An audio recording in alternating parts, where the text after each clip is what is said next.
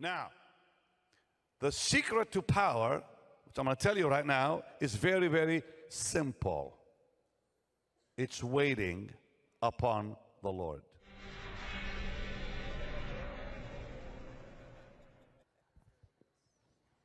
He commanded them to wait. Here's why. Go with me, please. In your Bible, Psalm 62, verse 1. It says, Truly my soul waiteth upon God. So I want to I want to talk to you about this because if you really want to have power in your life, that's how it starts. Simple, difficult, nobody wants to do it because the the flesh hates it. They that wait upon the Lord. Now, Marie, would you mind getting my phone? Just go get my phone, please. If you have it, turn it on for me. I want to just show you what I do. It's so simple, so simple. I did it while I was here, night before last, and again last night after service. This is the key to power. If you really want me to give it to you, I will. You accept it, not accept it, that's up to you. The Bible says, My soul waits upon God because from him comes my salvation, meaning my deliverance. Now, what is it to wait? Well, the Bible says, Wait upon the Lord. But what is it to wait? It's to wait. Many preachers have messed it up. Well, waiting means minister. No, it doesn't. It means wait. You look at the Hebrew word, it means sit down and shut up. Wait. That's what it means. Like you wait for a doctor, you wait for a lawyer, you wait for some guy to see you, talk to you. Wait. You say, well, what do I do? Nothing. I mean, nothing. God is not blind, He can see you there. And as you wait, the flesh begins to wither away. Why do we wait? Because in waiting, the, the flesh begins to lose its force. So, let me just give you a few scriptures on this because it's so powerful. The second scripture I want to, to look at is Psalm 130, verse 5. It says, I wait for the Lord, my soul doth wait. Soul means my emotions, my intellect, my will come to a pause and I sit still. You have to understand how simple this is and how profound. So he said, I wait for the Lord, my soul doth wait. In his word do I hope. But I gotta wait. Then you have Psalm 25, verse 5. On thee do I wait. If it, me, if it takes all day, who cares? Because he said it. Psalm 25, 5. Lead me in thy truth, teach me, for thou art the God of my salvation. On thee do I wait all the day. Now, God doesn't let you wait all day because He knows how impatient you are. So He shows up just before you crack. But you have to wait. Listen, listen. I have to do this because that's the only way I know how to touch God. You see, you cannot seek the Lord, that's impossible. In waiting, God quickens you to seek Him. Because what waiting does, it, it, it in, enables God to quicken you. Psalm 80, verse 18 says, This is a powerful, powerful scripture. Psalm 80, 80 verse 18. Please put it on the screen for me. In, in, in the Psalms, David makes an amazing statement. He says, Quicken me, and then I'll, I will call on you. Quicken me. So now we will not go back from you. Quicken us, and then we will call upon thy name. Well, you can't pray till God quickens you. But when does He quicken you? When you are completely quiet you will know the moment He quickens you. But you say, What do I do? I mean, I get bored. No, no, I'll show you how to do it. It's so simple and marvelous, in fact. But let me just give you a few more scriptures. Isaiah 33, verse 2 Be gracious unto us, we've waited for you. See, God cannot show his grace without you waiting. You say, Are you talking about wait? I, I said, I'm talking about waiting. Just wait upon. Look, do you want to renew your strength or not? Do you want the power of God? Yes or no? I'm giving you the secret. Wait. They that wait upon the Lord, Isaiah 40, shall renew their strength, and then they shall mount up with wings as eagles. They'll run, not be weary, and walk and not faint, right? But you gotta wait. You have to do it. You have no choice. The, the flesh will fight and hate and spit and scream. Don't worry about that. Just wait and let the flesh vanish. But the Bible, let me just see that. Isaiah 33, verse 2, all right? Oh, I see. You put that one. No, there it is. No, verse. That's correct. Thank you. That walk to go down into Egypt and have not asked at my mouth to strengthen themselves in the strength. Uh, I gave you the wrong. No, it's Isaiah 33, brother. 33. 33, verse 2. There we go. Lord, be gracious unto us. We have waited for you. Well, God cannot be gracious, nor can He be your strength from trouble unless you wait. And it says so right there. And then we read in Psalm 37, verse 7 Rest in the Lord and wait patiently for Him. Now, think about what's at stake here. Without waiting, there's no power in your mouth. No power in your mouth, angels are weakened in your behalf. Angels weakened, demons will be strengthened. And then you're ruined. It all begins with waiting. Are you listening? Yes, sir. So when you wait, God empowers you. How? I'll tell you how.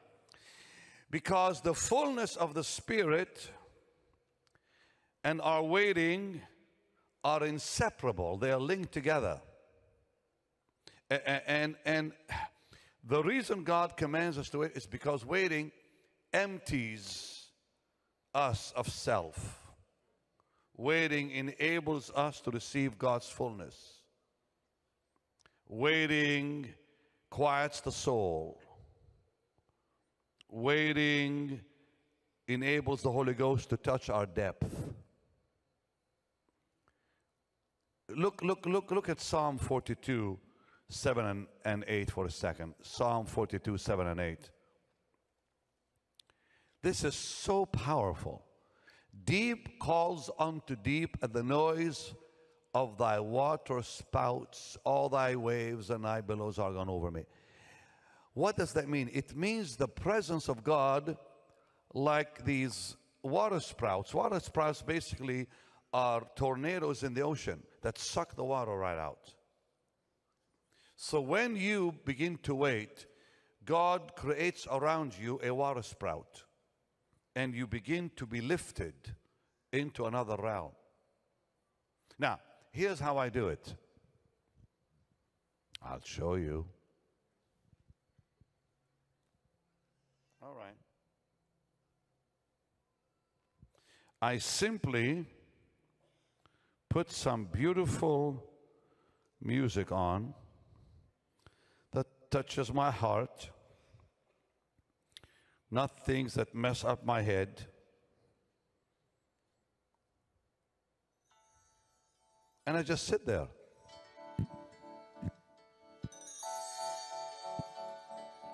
That's all.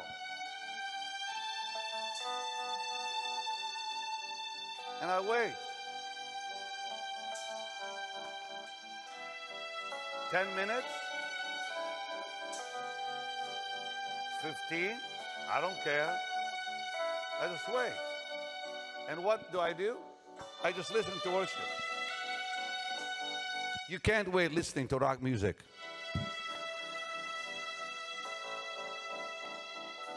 You wait where the soul is able to get still. How many get it?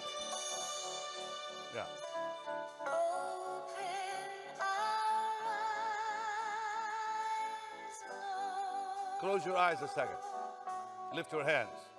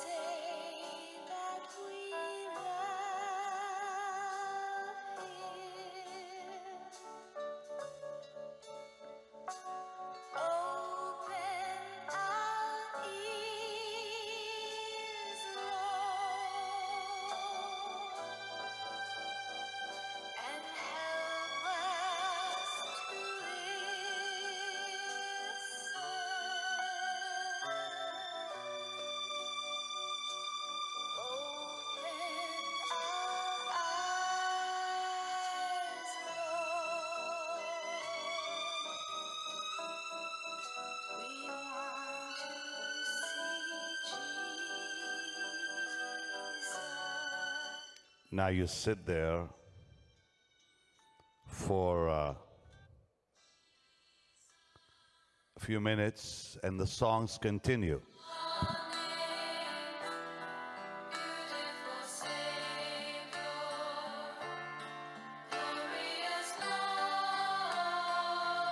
Lift your hands and love it.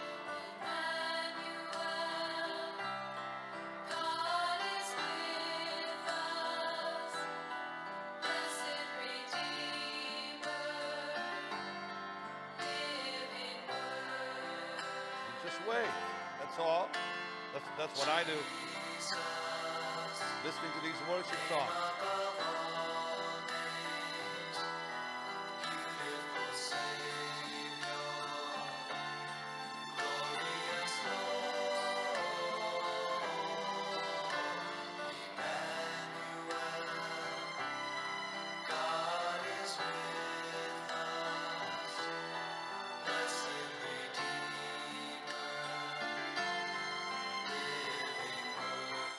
And by the time this song starts, I'm in tears.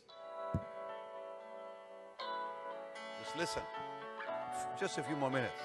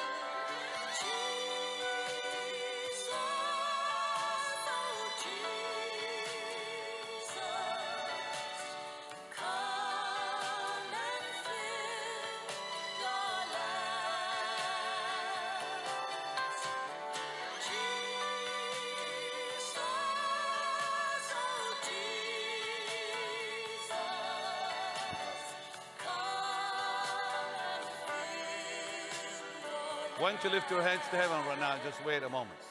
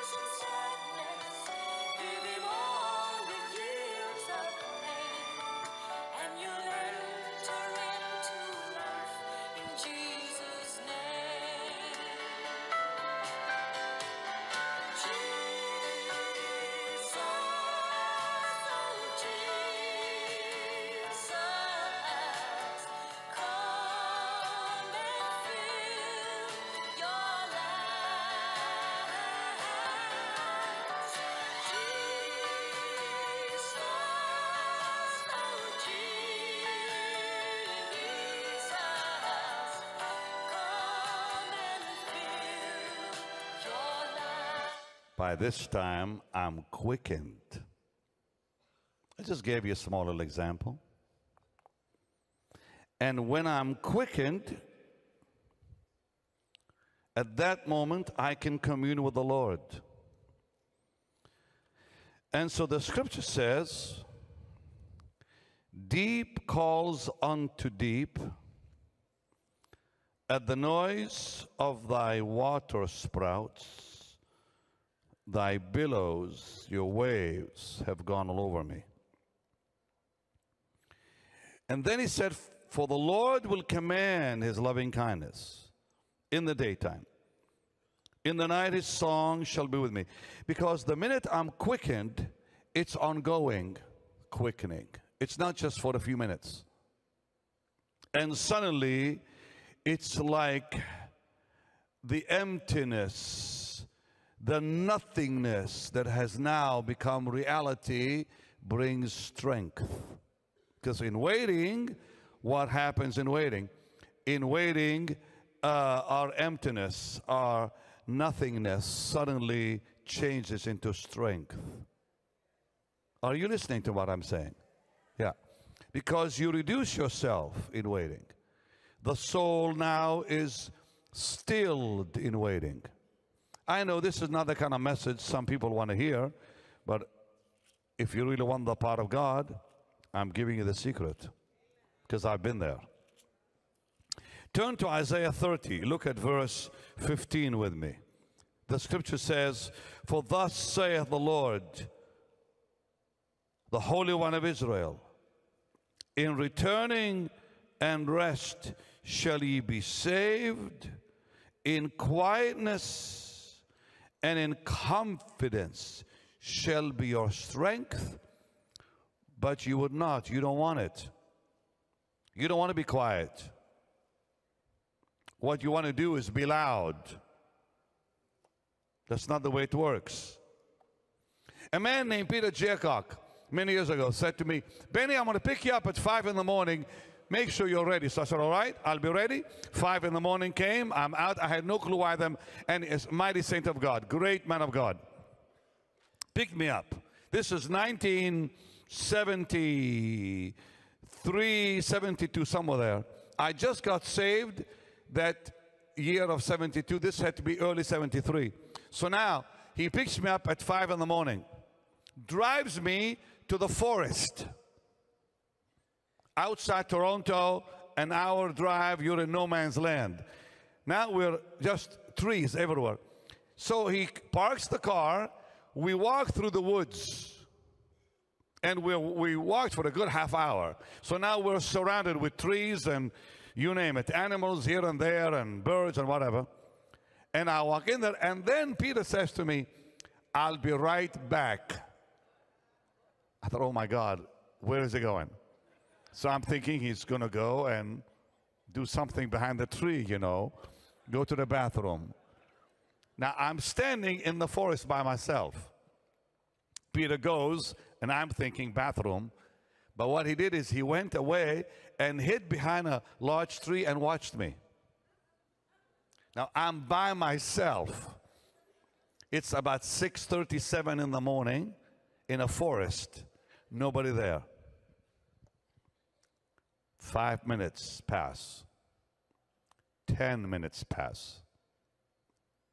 15 minutes pass. And I began to freak out. I said, The man left me.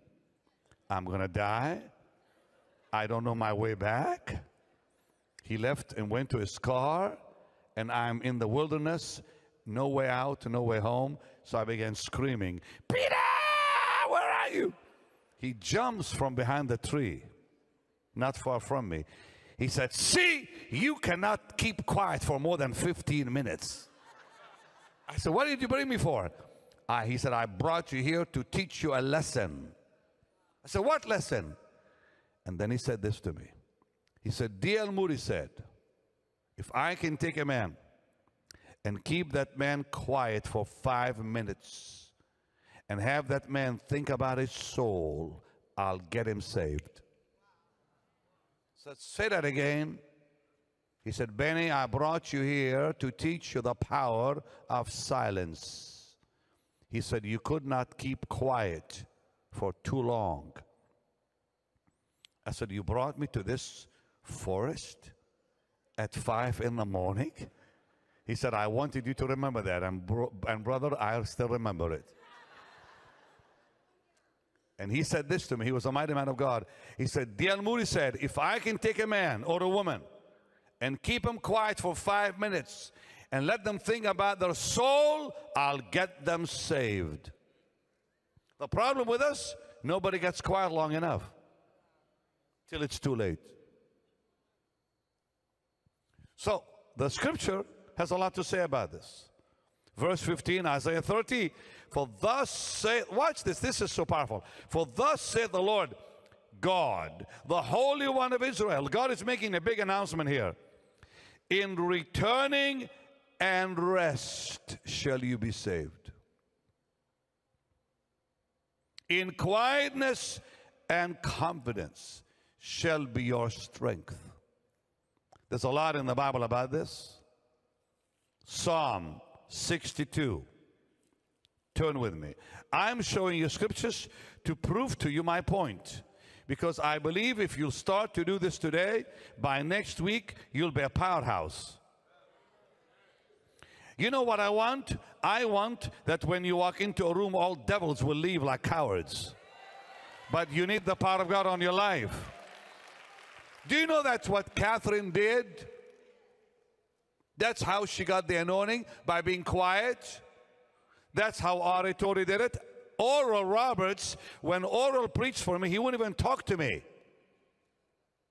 He was sitting in my car and I drove him to the service, and the man completely ignored I was even there. It bothered me at first, not now, because he was focused. When I had my, my crusades, I didn't talk to nobody. From 2 p.m. till 7, nobody even, I didn't even say hello to him. So that's rude. Oh no, that's what Jesus said. Don't say hello. On the way, salute no man.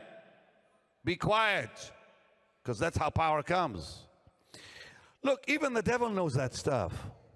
That's how they do it in religions. They sit there and hum and be quiet for a long periods, and then they, they, they do supernatural stuff that's all demonic. But what do they do first? Quiet. Because quietness empowers the spirit. Quietness stills the soul into emptiness and empowers us. That's listen, it's God who gave us that. He said, Be still and know I am God. Psalm 46 10. Well, what is it to be still? Still, it's still. Do nothing but sit there. Listen, listen, help yourself with worship like I just showed you. Oh, how Paul would have wished he could have an iPhone. Think what Paul the Apostle would have done with an iPhone or a CD or an iPad to play music. Jeanne Guyon, a great woman of God back in France, would wait as she read the Bible. She would read the word and wait upon the Lord as she read the word very slowly. And then when she was quickened, she would cry out. And when she cried out, there was power. So in Psalm 62, verse 1 and verse 2, truly my soul waiteth upon God.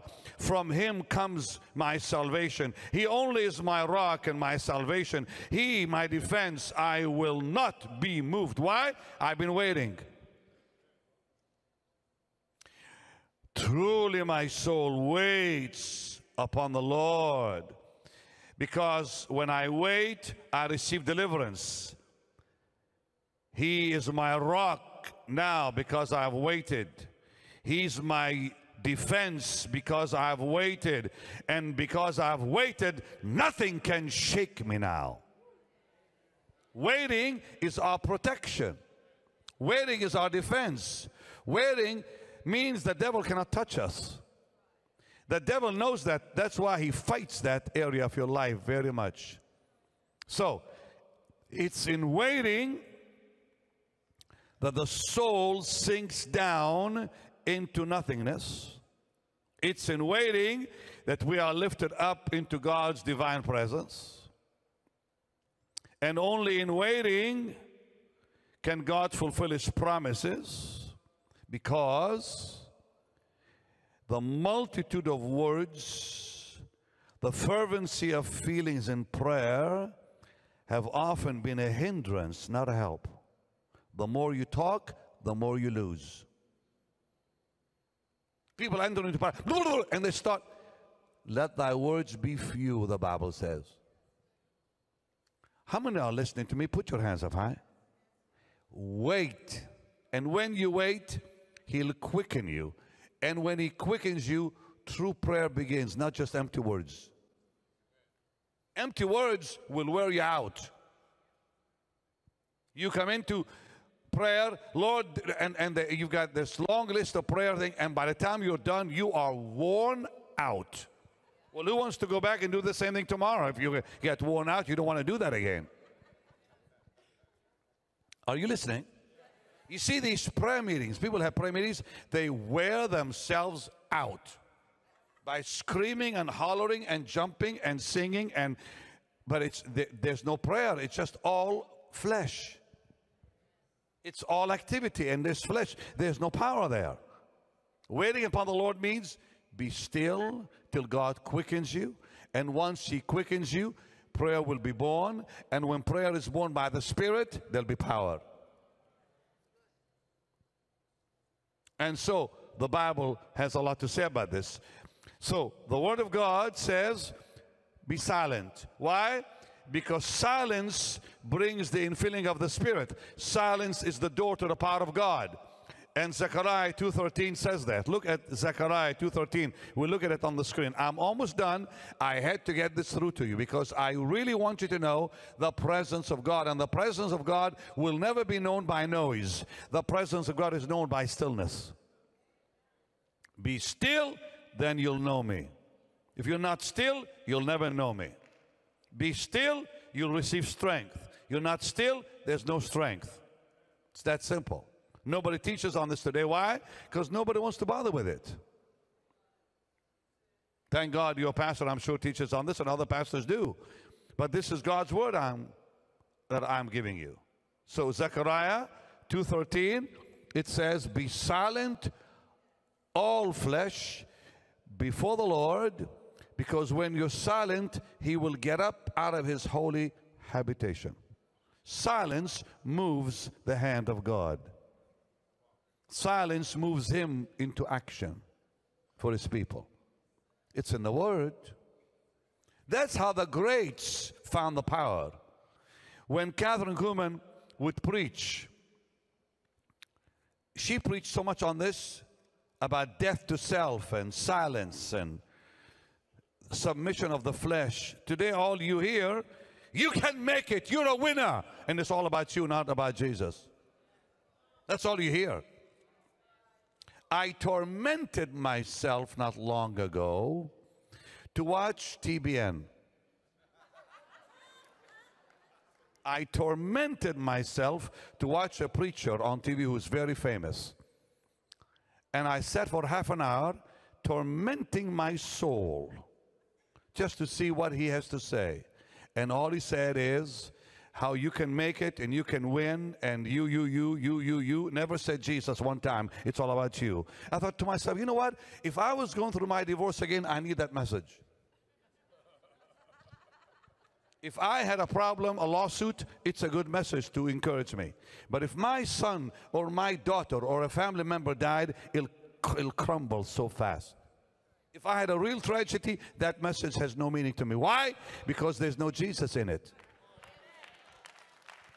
It's all about you can make it, you can win, God is on your side, all that empty stuff,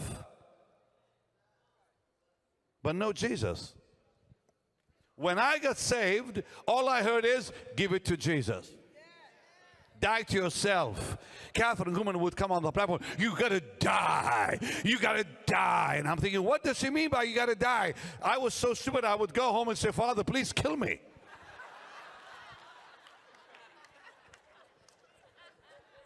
I died a thousand deaths before I walked up on this platform. I had no clue what she said. You gotta die. Corrie ten Boom. You gotta. You, you you remember Corrie ten Boom? How many knew who Corrie ten Boom was? How many have no clue who Corrie ten Boom was?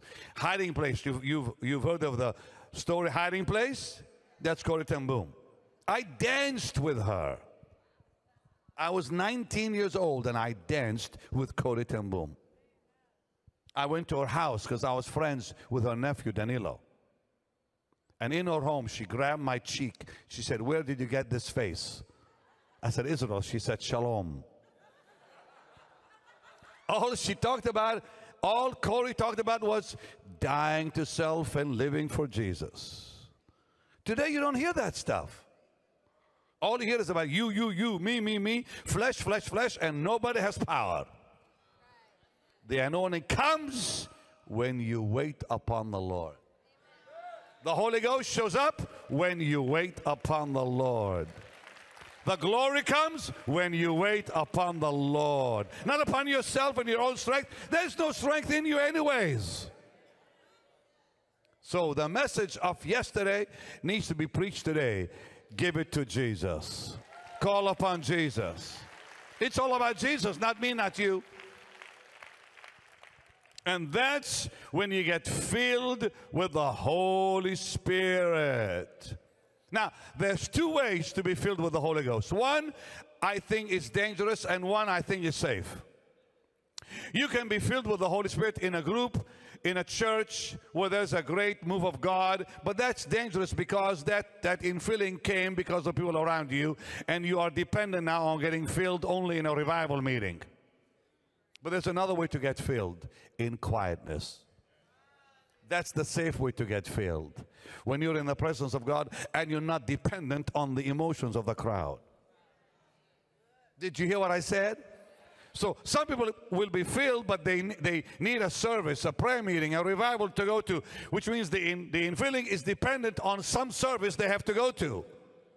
I don't need services to get filled. I be filled when I'm in my room listening to these songs I just played. And when I walk out, I'm like a giant. Because now the power of God is all over me. And now, come back there, uh, Roberto, you and Gregory.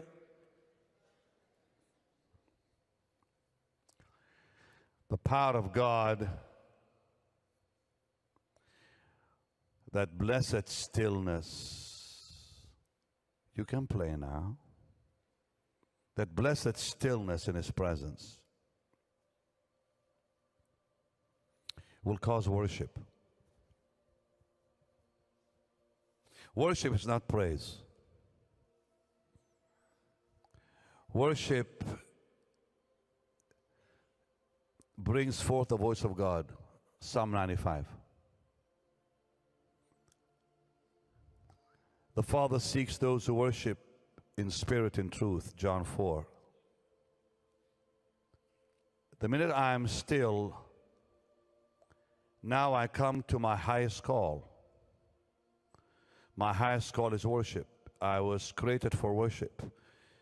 It's the greatest expression of love. All the exercises of the Christian life prayer, love, faith, surrender, obedience really culminates in worship. Your uh, whole being is now caught in worship. Uh, you come to the truest, fully, fullest uh, meaning of love. Uh, it's our highest destiny. Worship. Worship begins in stillness. God created the soul uh, the seat of our personality, this, this, the seat of our consciousness. But the soul must be stilled because it cannot worship. Worship is spirit, worship is not soul. And when we worship, the soul now submits to the spiritual realm rather than the physical realm. You see, when, when I don't worship, the soul is pulled into the flesh and the realm of the flesh. So it submits to, to the flesh. When I worship, it submits to the spirit. And now it's controlled by the spirit. So I start with stillness, and I start with stillness and quietness. God quickens me. The Song of Solomon 1 4 says, Draw me, and then I'll run after you. So in quietness, God quickens us. Psalm 80, verse 18. In quietness, we are drawn. In quietness, we are welcomed. In quietness, we are invited into uh, the royal presence of God. And when that happens, prayer begins. And when prayer begins, it begins with wealth and meaning. There's no empty, forgive me, bless me, amen, and you repeat yourself. And then you enter into an amazing realm. It's really the tabernacle all over again. It's the, it's the seven uh, roadmaps into God's presence. Because we all have to begin at the gate. And from the gate, we move in. So when you get on your knees, here's what happens. Watch me. Can I get a chair? Can I get your chair? Put it right there. Now, this is the presence of the Lord. And this is where I begin. So, this is a good hour from here to there, most times, at least an hour. So, you have to give that to the Lord. If you don't, no power. So, I start. Now, this I do every day.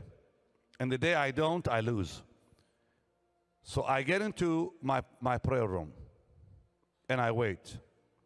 What I'm not aware of is as I'm waiting and I'm playing this music that you heard earlier, I'm getting closer, but I'm not realizing I'm getting closer because there's nothing going on.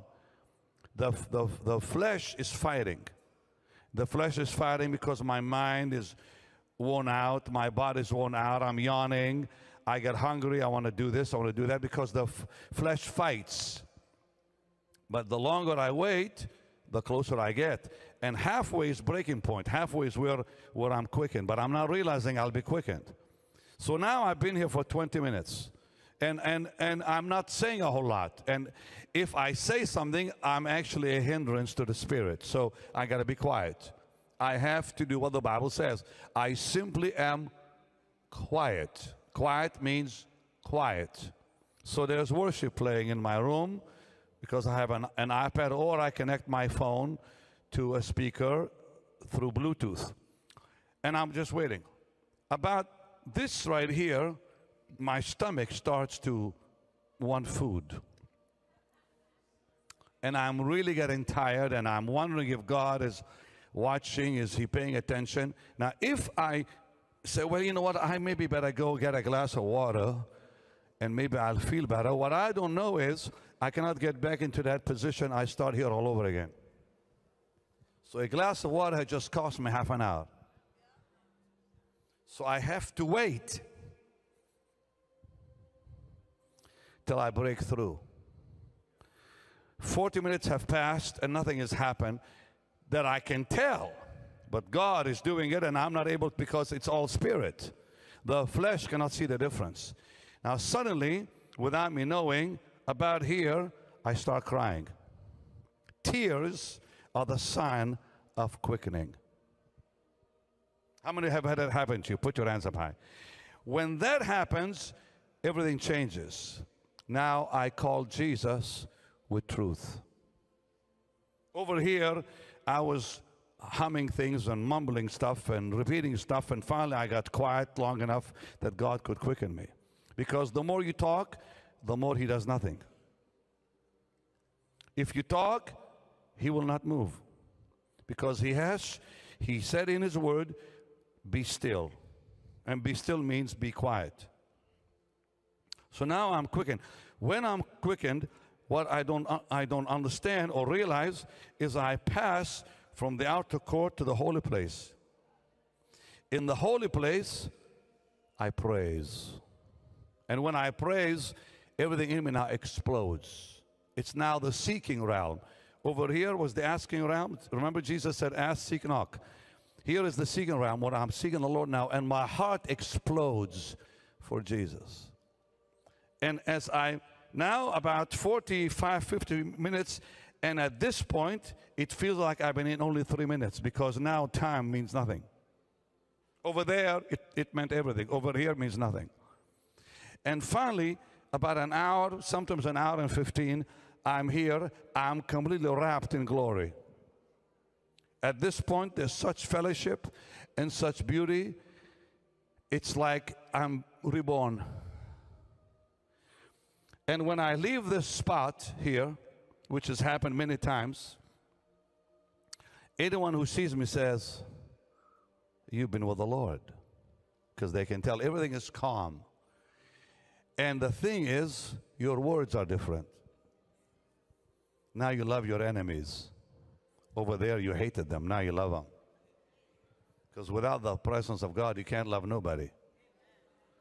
Now you forgive so easy. Over, over, over there, you wanted to kill them all. Here, you forgive them all. Because now God's presence made the difference. And now you can minister and bless people's lives, and peace will fill your soul all day long. And you go in your car and you're singing all the way on the 405 with traffic everywhere. And you sing in the shower, and you, you are so peaceful, nothing can shake you. An earthquake can hit, and nobody cares. You don't care because peace that passeth all understanding. And now the power of God is reality. Please stand up. It all begins with quietness. Lift your hands to heaven and let's bless his name.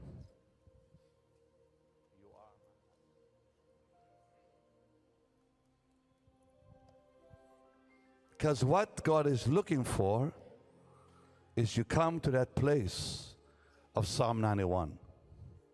He that dwelleth in the secret place of the Most High shall abide under the shadow of the Almighty. And there you will say, I will say the Lord, He is my refuge, my rock. In Him I trust.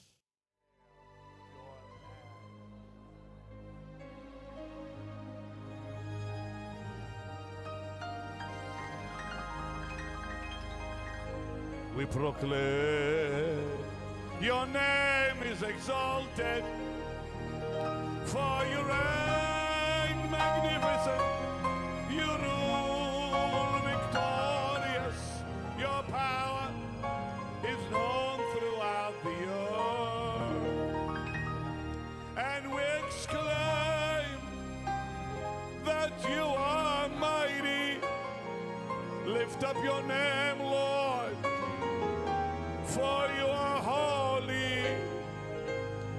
sing it again. All honor and glory in adoration. We bow before your throne. Another 30 seconds, just keep praying. We declare your majesty. We proclaim your name is exalted. For you reign magnificent. You rule victorious. Your power is known throughout the earth. And we exclaim, You are so mighty. Lift up your name. You are so holy. We sing it again. All honor, all glory in adoration. We bow before your throne. Then sings my soul, my Savior God to thee. How great thou art, how great thou art. Then sings my soul, my Savior God to thee. How great thou art, how great thou art. I want you all now, lift your hands to heaven. Let's praise his name. Sing along with me. Then sings my soul, my Savior God to thee. How great thou art, how great thou art.